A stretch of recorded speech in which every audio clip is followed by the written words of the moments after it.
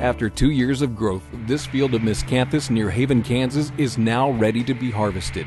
Quickly, you can see the high mass and thick volume of the crop that can produce baled tonnage above 10 tons per acre with low moisture readings. Miscanthus is typically planted in early spring before most row crops like corn and soybeans are planted. The winter after its second growing season, the miscanthus will be ready for harvest. This harvest will typically take place from December to early March whenever field conditions warrant. Both the initial planting and the subsequent annual harvest complement the existing crop cycle on most farming operations today. The bulk of the harvest uses equipment that is standard for a large hay or forage operation.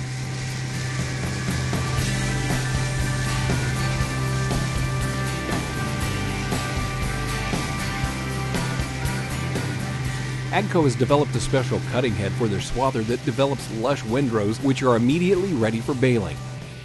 Although the crop is tall and thick, the available technology from AGCO can cut the miscanthus fast and efficiently.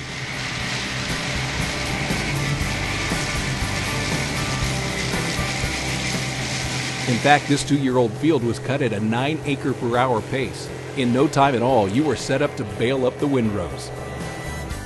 As the baler goes to work, you can see the sheer mass of the yield that is baled up. At a pace of 2 acres per hour, the baler produces 28 1,400 pound bales every hour. That's 20 tons per hour.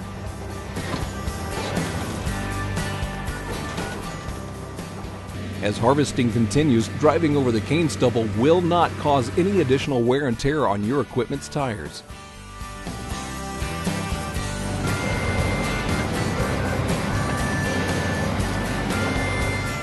Like with any crop that is baled, moisture readings are important. Although some additional mass is lost by allowing the crop to remain in the field until late winter, the resulting baled biomass has a very low moisture reading right out of the field. There's the temperature. And there's the moisture. You can see that this miscanthus has a moisture reading of 14.5 just seconds after it is baled. Due partly to its perennial nature, miscanthus needs less fertilizer than traditional row crops.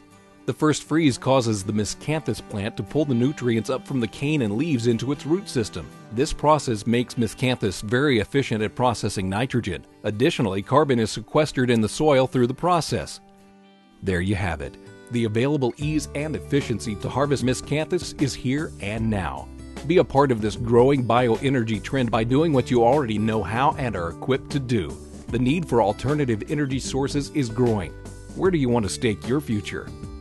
The future of our country is once again in your hands. Together, we can make a difference.